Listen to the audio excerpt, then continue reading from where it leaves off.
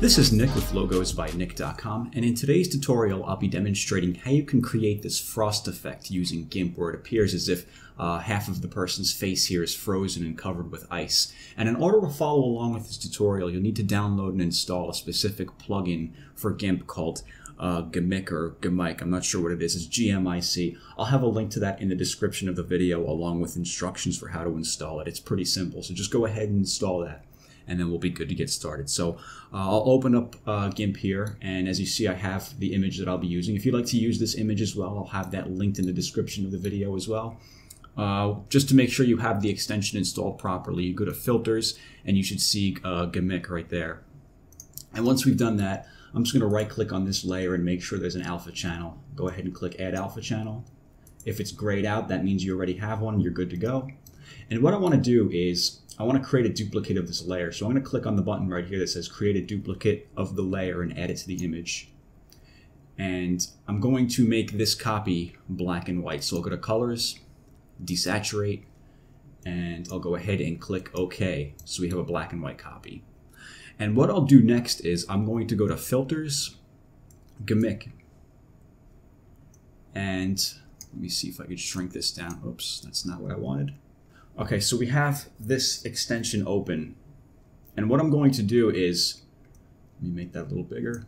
I'm going to go to, let me close this. I'm going to go to artistic and I'm going to choose uh, colored pencils right here. And it's going to give a preview here, as you'll see. I'm going to zoom out a little, see if I can zoom out a little bit. I don't normally work at this resolution, so um, this is a little different for me. Okay, so we have that effect right there. You can use these sliders to adjust it, like the size, you can increase that a little bit, or you can increase the amplitude a little bit. Or if you don't like what you've done, if you've gone a little too far with the edits, you can just click this button to set it back to its default. Uh, I think the default looks pretty good, so I'm just going to leave that as it is and go ahead and click apply. And it's going to work and do its thing, and once it's done, you can close out of that, and you can see it applied it to that image. And what I want to do now is I want to create a new layer and edit on top of here. So I'm going to click this button. It says create a new layer. We're going to want transparency. Go ahead and click OK. And I want to change this foreground color to a shade of blue. This is the shade I'm using right here. If you want to type in this code, it's 048EF9, or you could use a similar shade of blue to that. It doesn't have to be that precisely, but if you'd like to follow along with what I'm doing, you can go ahead and use that. Go ahead and click OK. And now we'll go to Edit, fill with foreground color. And that's going to make our entire canvas blue. And what we want to do now is come up here where it says mode and change that to soft light. And that's pretty much going to make the image beneath it tinted with that blue shade. And once we've done that, I'll right click on this blue layer and go to merge down so it combines into one layer.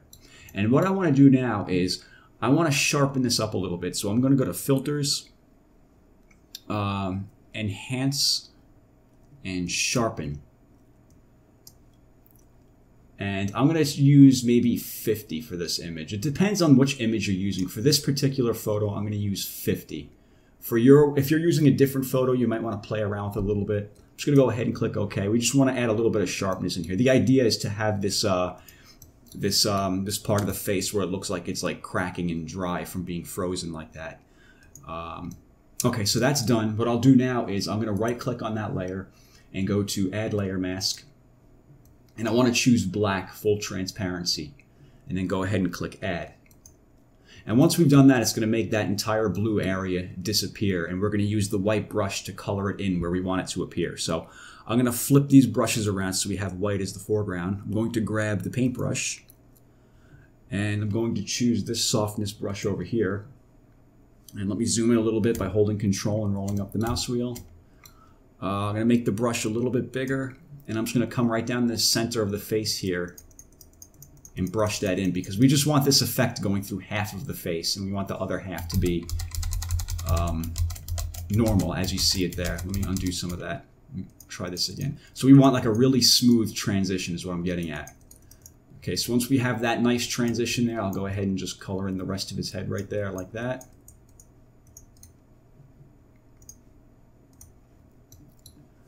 Okay, that's pretty good. And that's starting to look pretty good, but we still have a little bit to go. I'm going to add a few more details to this. So what I'm going to do is I'm going to take this original image down here, and I'm going to create a duplicate of that layer. by clicking this button down here. And then I'll click and drag this to the top so it's layered on top. And again, I'm going to do the same thing. I'm going to remove the color. I'll go to Colors, Desaturate, go ahead and click OK. And we'll go to Filters and we'll go back to the G'MIC extension. And this time, instead of colored pencil, we're going to use Dream Smoothing. And this may take a minute or two to, to load up on your machine. It, it takes a few seconds for me. Um, that's pretty good right there. The defaults look pretty good, so I'm just going to go ahead and click apply, uh, OK. And give it a second to do its thing. And there we go. Uh, so what I want to do now is with this effect, there's a little bit like like the whites are bleeding out a little bit too much. If you look around, like the uh, the edge of his head is bleeding out a little too much. I want to adjust this using the curves. So we'll go to colors, not the curves, the levels, colors, uh, levels, and I want to take this arrow over here to the, to the left and just bring that in a little bit to the right, and I'll take this one over here. I'll bring this in a little bit as well. And I'll take this middle arrow and adjust that as needed. Let me bring this in a little more. You may just have to play around with it a little bit just to get it right. What we're looking for is something like that right there with nice crisp contrast and, and good white highlights and everything like that. That's exactly what we're looking for right there. I'll go ahead and click OK to apply that. And again, I'm going to create a new layer on top of that. We're going to use transparency. And I'm going to go to, since we already have that blue sitting there as the background color, I'm just going to do this. Go to Edit, Fill, Edit, Fill with Background Color set the uh, mode to uh, soft light, right click on the layer and go to merge down. Oops, let me get rid of that. Um, okay, and again, we're going to add a layer mask to this just like we did before. So I'm going to right click on this and go to add layer mask. And again, we're going to use black with full transparency. Go ahead and click and add. And again, I'm going to grab the white brush. Let me zoom in on this. Uh, let me bring the size of this brush down. And for this one, I'm just going to color it in around the very far edges. The idea with this layer is for it to be sort of like, um, sort of like a uh, like like like ice that's been formed over the face here. So I'm just going to fill this in around the edges like that. Maybe around some of like the uh, like the eyebrow and like the corner of the mouth, like the lip right there, something like that or maybe not. If you want to erase it, you can just make uh, you can just make your background color black, switch that around to the foreground, and you can erase out part of that area. I think it looks better without that. So uh, let me erase some of this in here as well. And come to think of it, I got to click on this layer and get some of that blue off the collar of his shirt as well. That doesn't really need to be there. You go back to this layer, erase some of that out a little more. And that's looking a little better. And what I want to do now is, with this layer selected, I'm going to go to Filters, Enhance, and Sharpen. And for this one, I'm going to use 60. See how that looks. Go ahead and click OK. That looks a little better. So that kind of looks like glossy ice that's formed around the side of his face. So um, the next step would be to add a little bit of uh, like icicles right here. If you notice, like there's a little bit of like a frozen ice dripping down from the side of his face. I'm gonna go ahead and go ahead and add that. So to do that, I'm gonna create another duplicate of this original image down here. Bring that back to the top. Repeating the same steps pretty much. We're gonna go to Colors, um, Desaturate, and we'll go back to the G'MIC extension. And for this one, I'm going to use, let me close out of artistic. I'm going to go down to deformations, I think it is, and wind. Here we go down here, wind. Or you know what? No, we're not going to use wind just yet. We're going to go back to artistic, and we're going to use uh, brushify. I forgot we got to do this one first. Brushify. The default settings right here. This should work pretty well. Go ahead and click uh, OK to apply that. And as you can see, we've applied that. Now what we want to do is just edit this a little bit with the uh, levels. We want to create some separation between the white areas of the image and the black areas of the image. So I'm going to use the level adjuster to uh, make that happen.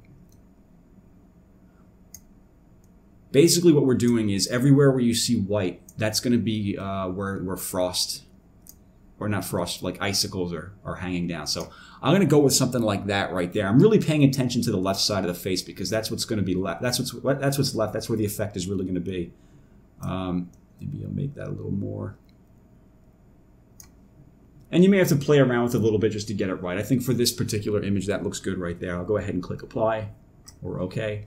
And now I'll go back to the, uh, the G'MIC extension and use the, uh, let me close out of artistic. I'll go back to uh, the wind, the wind uh, filter here.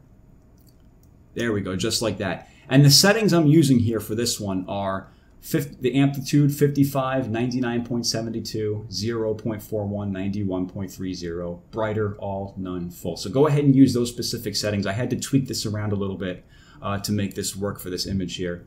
Go ahead and click OK. And now what I want to do is I want to set this to set this layer to screen to see how that looks. And if you toggle the visibility of it off and on, you'll see the difference. There's like some ice hanging down there, but I want to get rid of some of it on the areas where it doesn't really belong. So I'm going to go to the eraser tool. I'm going to make that a little bit bigger.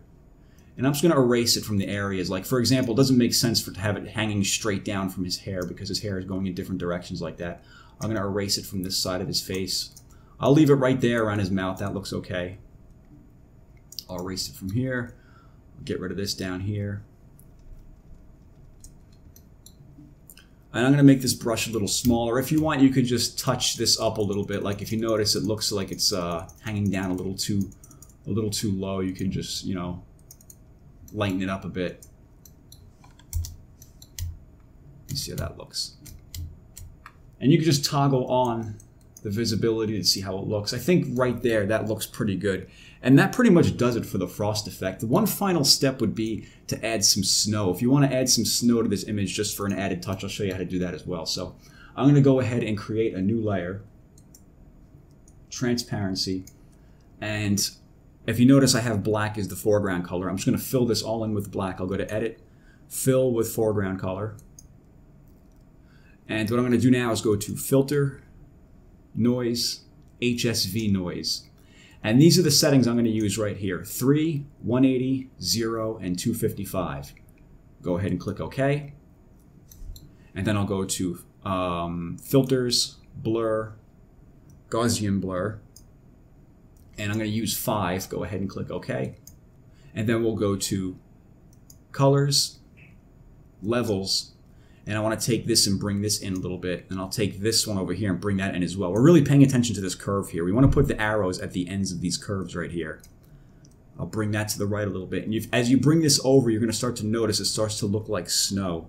So I'll maybe bring this in to get more of it or bring it out to get less of it. I think I think right there is a good amount. That looks pretty pretty much like snow. I'll go ahead and click OK.